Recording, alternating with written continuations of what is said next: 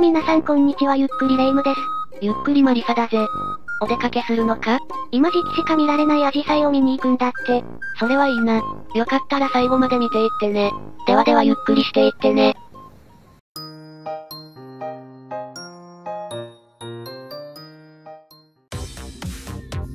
おやおや、鹿がたくさんいるんだぜ。奈良公園だわね。ってことは八田寺に行くんだろう？八田寺も2、3年ぶりにアジサイ園オープンしてるんだけど今回は行ったことのない長谷寺に行くのよ。アジサイで有名な長谷寺って鎌倉じゃなかったうぷ主も長谷寺って鎌倉のお寺だと思ってたみたいなんだけど、全国の長谷寺の総本山が奈良の長谷寺みたいなのよ。へえ。それは知らなかったんだぜ。あ、着いたみたい。早速アジサイがあるんだぜ。この日はあいにくの雨模様だったんだけどアジサイ見物には最適よ。そうだよなアジサイって雨が似合う花だよな。入山受付ってことは山に入っていく感じなんだな。八田寺も山の上にあって結構登りが大変だからここもそうなのかな。なんだかかなり広いんじゃないの？さすが総本山だわね。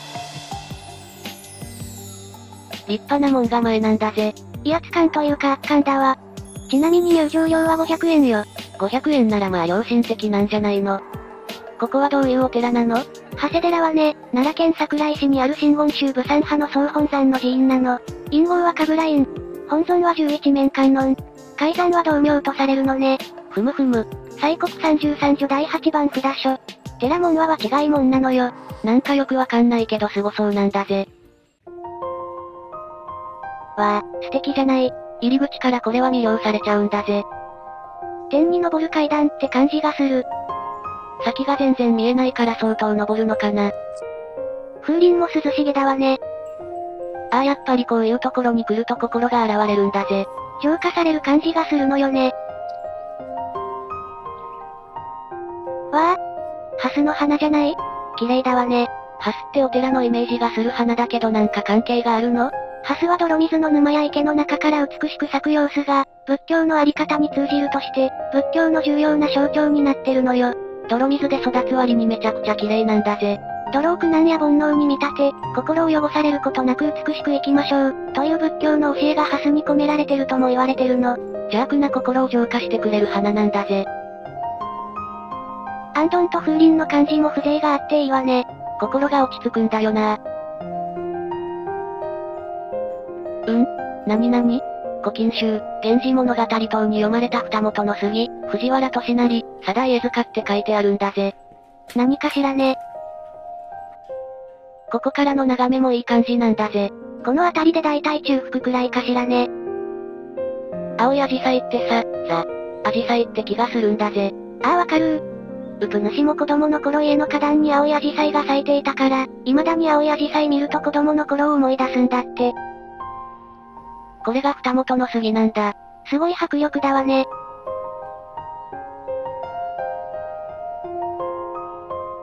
なんか説明が書いてあるわね。ふむふむ、なるほどねマリサ、理解したのかしら？あれ？灯籠が並んでて階段があるんだぜ。灯籠とアジサイと苔もまたいい感じじゃないの。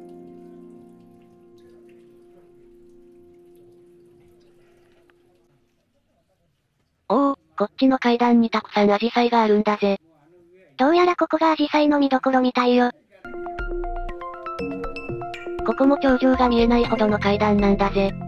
周りが緑の木々に囲まれてとてもいい雰囲気だわ。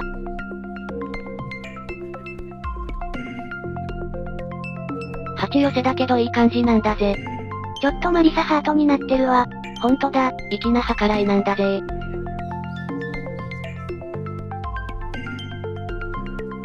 階段の両脇に鉢植えがびっしりよ。斜面にもアジサイが咲き乱れていて創作物と自然のコラボ。うわぁ、この雰囲気たまらない。一旦私たちはおしゃべりストップするからこの時期ならではのアジサイを堪能してくれだぜ。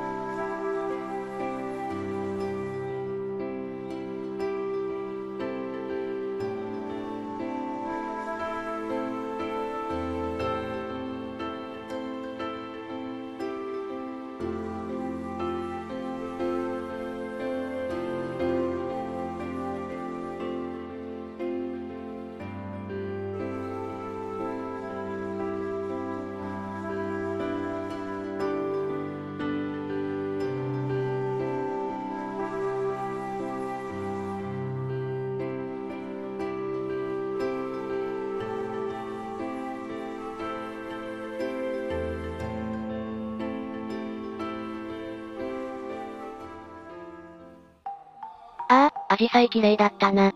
うんうん癒されたわここ清水寺みたいじゃない？釘を一本も使わない掛け作りよね。掛け作りっていうのか。清水寺はそうだけどここはわかんないけどね。おお、結構高いじゃないか。ゆっくり登ってきたからそんなに疲れてないけどかなり標高高いんじゃないかって。まさに入山なんだぜ。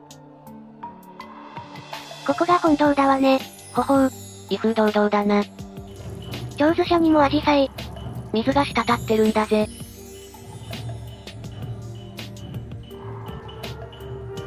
うぷ主先行あげるのか。3本50円なのね。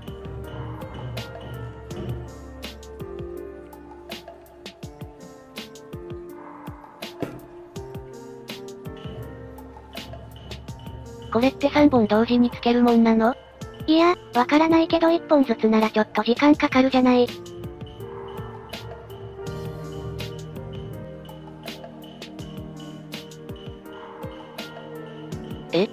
今、肺に指つかなかった？倒れたら嫌だから深く刺したら指ついちゃってかなり熱かったみたい。あの肺って熱かったのか。ここは開けてるんだぜ。大観音特別拝観が有料で見られたんだけどケチって見なかったのよ。編集しててやっぱり見とけばよかったって後悔してるんじゃない？マリサ鋭いわね。その通りだって。やっぱりね。どうやらここ本堂あたりが頂上でここからは下りみたい。要所要所にアジサイが咲いてる感じなんだぜ。うぷ主がここは縁結び的なところなんじゃないかって。円満と福寿って書いてあるんだぜ。お寺だから仏様に拝むのか？ご先祖様とか、さっきの階段のアジサイもいいけど私はこういう自然な感じが好きなんだぜ。緑の葉と青い花のコントラストが美しいのよね。あら？ピンクがあるじゃない。かわいいわね。ガラッと雰囲気変わるもんな。青いアジサイは心が落ち着くけどピンクは麻薬で高ぶるわね。確かに周りも明るく見えるもんな。立派な松なんだぜ。皇室の方が植樹するお手植えの松よ。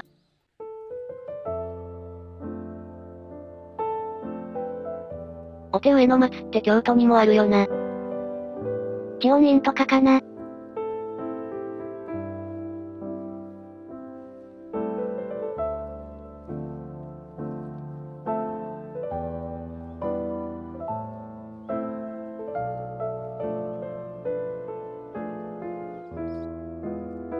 マリサ見て、ここ抜けてるのよ。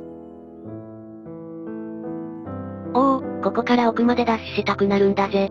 絶対怒られるやつ。奥に何があるんだ？植木っぽかったって。通路までアジサイがせり出しちゃってるな。ここではアジサイファーストだから人がアジサイを避けて歩くのね。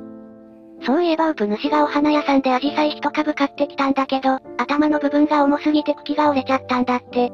ええそうなの。でも茎が短くなっても水につけてたら枯れずに咲いてたらしいわよ。アジサイの生命力すごいんだぜ。桜と違って1ヶ月以上は見られるもんな。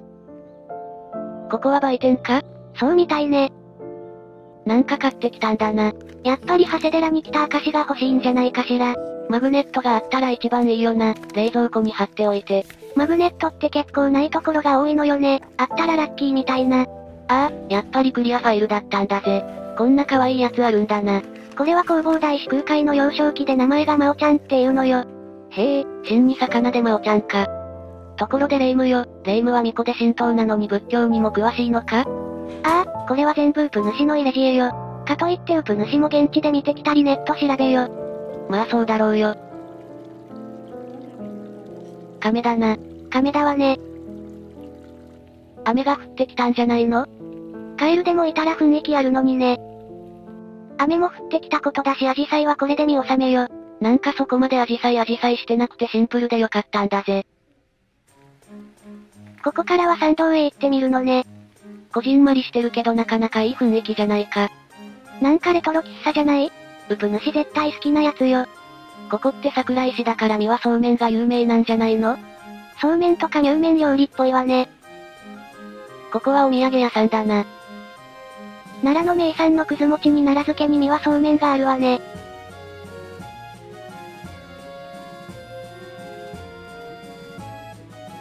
和菓子屋さんかな。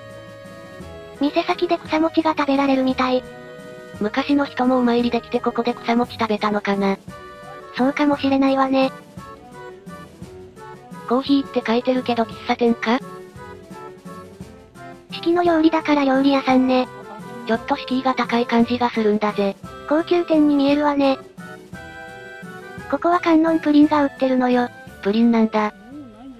飲食店に入ったのね。これまたノスタルジーな雰囲気でいいじゃないか。おお、うまそうなんだぜ。これ乳麺じゃない？山菜やらが乗って具沢山だな。こっちは山菜ご飯だわね。ちなみにこのセットで1200円くらいなんだって。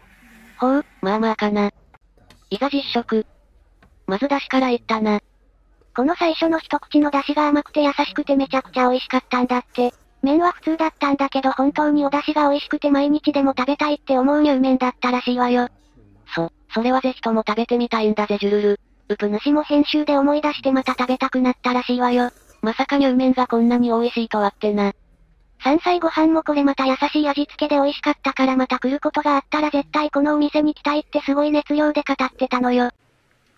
ここは奈良漬けのお店だわ。奈良漬けって酒粕でつけるやつじゃない？ちょっと癖が強いんだけどそれがたまらなくて好きな人は好きなのよねうぷ主奈良漬け買ったんじゃないか。好きな人は好きだけど苦手な人は苦手なんだぜ。でも老舗っぽいから本物だな。